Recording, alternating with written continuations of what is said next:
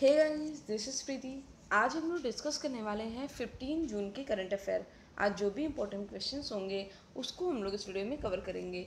Video को शुरू करने से पहले मैं चाहूँगी कि अगर आपने अभी तक चैनल को सब्सक्राइब नहीं किया है तो चैनल को सब्सक्राइब कर लें और बेल आइकन पर ज़रूर प्रेस करें। साथ ही साथ, अगर आपको इस वीडियो की पीडीएफ डाउनलोड करनी है तो आप हमारी वेबसाइट एग्ज़ाम डॉट नेट से पी को डाउनलोड कर सकते हैं और ईजिली रिविज़न कर सकते हैं। तो देखते हैं कि आज का हमारा पहला क्वेश्चन क्या है। पहला क्वेश्चन है हमारा कि विश्व बाल श्रम निषेध दिवस कब मनाया जाता है? तो यह मनाया जाता है 12 जून को। 12 जून को विश्व बाल श्रम निषेध दिवस मनाया जाता है। इसकी शुरुआत किसने किया है? इसकी शुरुआत किया है। अंतर्राष्ट्रीय श्रम संगठन 2002 में इसकी शुरुआत किया गया था, अंतर्राष्ट्रीय श्रम संगठन के द्वारा। अब इसकी शुरुआत किया गया है तो इसका कुछ ना कुछ मोटिव भी होगा होगा, कुछ ना कुछ उद्देश्य भी होगा। तो इसका उद्देश्य है कि 2025 तक बाल श्रम के सभी रूपों को समाप्त कर देना चाहिए। ठीक है? 2025 तक बाल श्रम के सभी रूपों को समाप्त कर देना चाहिए। चलिए नेक्स्ट क्वेश्चन की हम लोग बात करते हैं कि अगला क्वेश्चन क्या है हमारा? तो अगला क्वेश्चन है हमारा कि चीन ने भारत के लिए अपना नया एम्बेसडर नया राजदूत किसे बनाया है? तो सुई वेईदोंग को, ठीक है? किसे बनाया गया है? सुई वेईदोंग को बनाया गया है चीन के द्वारा। भारत के लिए अपना नया राजदूत, याद रखिएगा। अगला क्वेश्चन है हमारा अमाश बैलू कर्नाटक की पहली सौर ऊर्जा संचालित ग्राम पंचायत बना यह किस ज़िले में स्थित है? तो यह स्थित है उडुपी में। कहाँ पे स्थित है? उडुपी में स्थित है। उडुपी कहाँ पे पड़ता है? उडुपी पड़ता है हमारा कर्नाटक में। ये देखिए, जो है, ये देख रहे हैं आप कर्नाटक का मैप, जिसमें अगर हम लोग स्टेट की बात करें तो कर्नाटका स्टेट की बात करें तो यहाँ कहीं हमारा कर्नाटका स्टेट है और इसमें उडुपी क्या है? एक जिला है, जिसमें सौर ऊर्जा संचालित है या पूरी तरीके से। ठीक? अब है क्या यहाँ पे? तो यहाँ पे 1800 से अधिक घरों को दो दशमलव एक तीन करोड़ रुपए की लागत से लगा करके सोलर लैंप दिया गया, जिसमें हम लोग बात करें तो तीस पर, जो हिस्सा था यह केंद्र सरकार का था और अगला जो ट्वेंटी हिस्सा था ये किसका था? यह राज्य सरकार का था। तो इसको याद रखिएगा, इसमें उनको दिया गया है सोलर लैम्प दिया गया है, जो अगर कभी भी इसमें प्रॉब्लम आती है तो विद इन ईयर तुरंत उसको क्या किया जाएगा? तुरंत उसको चेंज किया जाएगा। इसके पहले अभी हम लोगों ने कल पढ़ा था कि बाचा मध्य प्रदेश में एक ऐसा गाँव है जहाँ जहाँ पे सौर रसोई घर, ठीक है, भारत का पहला सौर रसोई घर कहाँ पे है? तो बाचा मध्य प्रदेश में, बाचा एक छोटा सा गाँव है, करीब सेवेंटी फाइव घर का, जहाँ पे जो पूरा काम है वह किससे हो रहा था? खाने का, वह हो रहा था सौर ऊर्जा के द्वारा। इसके अलावा अगर हम लोग बात करें कि सौर ऊर्जा द्वारा संचालित पहला द्वीप कौन सा है? तो दीव।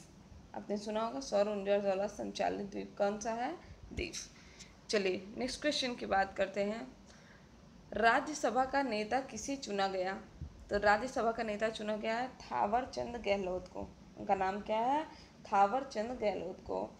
और ये है क्या? तो केंद्रीय सामाजिक न्याय व सशक्तिकरण मंत्री। इन्हीं को चुना गया है राज्यसभा का नेता। इसके पहले जो सरकार थी 2014 से 19 तक उसमें राज्यसभा के नेता कौन थे? तो अरुण जेटली थे उसमें राज्यसभा के नेता। अब थावर चंद गहलोत कहाँ से बिलोंग करते हैं?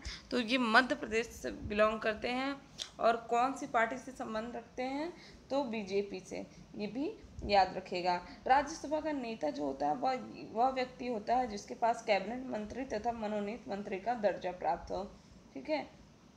पहले राज्यसभा के नेता कौन थे? गोपाल स्वामी आयंगर। इसको याद रखेगा। अगला क्वेश्चन है हमारा फ्रेंच ओपन में महिला एकल वर्ग का खिताब किसने जीता?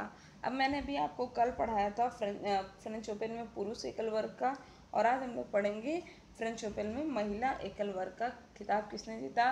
तो एसले बारती ने, किसने जीता है? एसले बारती ने महिला। देखिए, कुल चार ग्रैंड स्लैम होते हैं चार मैच होते हैं जिनको अगर हम लोग समराइज कर दे तो वो क्या बनता है? ग्रैंड स्लैम एक तो होता हमारा ऑस्ट्रेलियन ओपन, फिर होता हमारा फ्रेंच ओपन, उसके बाद है हमारा यूएस ओपन एंड फोर्थ है हमारा विबलेटन ओपन, जिसमें से फ्रेंच ओपन कहाँ पे खेला जाता है? तो यह क्ले कोर्ट में खेला जाता है। तो ये थे इससे इम्पोर्टेंट क्वेश्चन अब ये देखिए, ये समाप्त हो चुका है। तो इसमें हमें क्या क्या पढ़ना है? पुरुष एकल वर्ग, महिला एकल वर्ग, पुरुष युगल वर्ग, महिला युगल वर्ग और मिश्रित वर्ग। इन्हीं चीज़ों को हमें पढ़ना है। ठीक तो चलिए पुरुष एकल वर्ग कहाँ किसने जीता? तो राफेल नडाल ने जीता है पुरुष एकल वर्ग। पुरुष युगल वर्ग की बात करें तो केविन क्रावियज और अंद्रियास मियस इन लोगों ने जीता है पुरुष युगल। महिला युगल की बात करें तो तिमिया बाबोस और क्रिस्टलिना ने जीता है महिला युगल। और मिश्रित युगल की बात करें तो ला, लातिशा चान और इवान दोदिच इन दोनों ने जीता हमारा मिश्रित युगल। चलिए बात करते हैं हम लोग अगले क्वेश्चन की। अगला क्वेश्चन है हमारा। फोर्ब्स द्वारा जारी की गई सबसे अधिक कमाई करने वाले खिलाड़ियों की सूची में पहले स्थान पर कौन है? तो पहले स्थान पर हैं लियोनल मेसी ये काफ़ी इम्पोर्टेंट है कि लियोनल मेसी क्या करते हैं? तो ये फुटबॉलर है और ये फुटबॉल खेलते हैं, ठीक? कहाँ के हैं? तो अर्जेंटीना के हैं और बर्सिलोना फुटबॉल क्लब के लिए या फुटबॉल खेलते हैं। उसके अलावा सेकंड नंबर पे कौन है? तो क्रिस्टियानो रोनाल्डो हैं, या भी फुटबॉलर हैं और या पुर्तगाल के लिए मैच खेलते हैं। अच्छा अब आपके मन में आ रहा होगा कि क्या कोई भारतीय नहीं इसमें? तो है, भारतीय हैं, लेकिन बहुत ही ज़्यादा पीछे हैं। सौवें स्थान पर विराट कोहली हैं। एकमात्र भारतीय खिलाड़ी हैं जो इस सूची में हैं और उनकी रैंक क्या है? उनकी रैंक है सौवीं रैंक ठीक? यह पच्चीस मिलियन डॉलर कमाते हैं, याद रखिएगा। चलिए नेक्स्ट क्वेश्चन की बात करते हैं। ट्रैफ़िक इंडेक्स में भारत की राजधानी दिल्ली कौन से पायदान पर स्थित है? तो दिल्ली चौथे पायदान पर स्थित है। अब आपके मन में क्वेश्चन आ रहा होगा कि नंबर वन पे कौन है? तो नंबर वन पे है मुंबई। नंबर वन पे क्या है? नंबर वन पे है मुंबई। मुंबई में लोग जहाँ के लिए किसी भी जगह के लिए निकलते हैं तो ट्रैफ़िक के कारण उनमें सिक्सटी फाइव परसेंट ज़्यादा देरी हो जाती है। अब बात आती है कि यह रिपोर्ट किसने जारी किया तो यह रिपोर्ट जारी किया गया एम्स्टर्डम में। स्थित एक कंपनी है, टॉम टॉम, उन्होंने 2018 के लिए रिपोर्ट जारी किया है। यह छप्पन देशों के 403 शहर इसमें शामिल है। ठीक? तो नंबर वन पे हमारा मुंबई है, सेकंड पे बोगाटो, कोलंबिया है थर्ड पे हमारा लीमा, पेरू है फोर्थ पे है क्या हमारा, दिल्ली है। तो इसको याद रखिएगा। ठीक? तो यही था हमारा आज का लास्ट क्वेश्चन अब हम लोग जो हमारे कल के इम्पोर्टेंट क्वेश्चन हैं, उसका रिवीजन कर लेते हैं। देखते हैं कि कितने लोगों के क्वेश्चन आंसर मैच करते हैं। चलिए। वैश्विक कार्बन उत्सर्जन में कितने परसेंट की वृद्धि हुई है? या रिपोर्ट आई है बीपीपीएलसी द्वारा? तो सही आंसर बताइए। देखिए, इसमें हमारा सही आंसर होगा कि दो परसेंट की। कितने परसेंट की? दो परसेंट की वृद्धि हुई है। इसके अलावा था, हमारा वायु प्रदूषण से जो घातक बीमारियाँ हो रही हैं, उनमें भारतीयों की जीवन प्रत्याशा कम हो गई है। तो यह कितनी कम हुई है? तो यह 2.6 वर्ष कम हुई है। इसके अलावा था, हमारा कि ब्रिटेन सरकार द्वारा भारतीय मूल के किस व्यक्ति को राष्ट्रमंडल और विदेश कार्यालय में मुख्य अर्थशास्त्री नियुक्त किया गया? तो अर्थशास्त्री किसे नियुक्त किया गया? अय्यर को। कुमार अय्यर को अर्थशास्त्री नियुक्त किया गया है।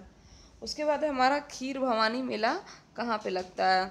तो खीर भवानी मेला लगता है हमारा जम्मू एंड कश्मीर में। देन है हमारा कि वलसा देवरालू त्यौहार मनाया जाता है कहाँ पे? तो चित्तूर ज़िले में। ठीक? नेक्स्ट हमारा कि निर्भया स्क्वाड का गठन हुआ। किसके द्वारा? तो नासिक पुलिस के द्वारा निर्भया स्क्वाड का गठन हुआ है। इसके अलावा था हमारा कि जी ट्वेंटी मंत्री स्तरीय बैठक का आयोजन कहाँ पे हुआ है? तो यह हुआ है जापान में। तो आज के लिए बस इतना ही। वीडियो अच्छा लगे तो चैनल को सब्सक्राइब करें, शेयर करें और लाइक करना ना भूलें। डेली अपडेट्स पाने के लिए बेलाइकन पर ज़रूर क्लिक करें। Thank you friends, thank you so much.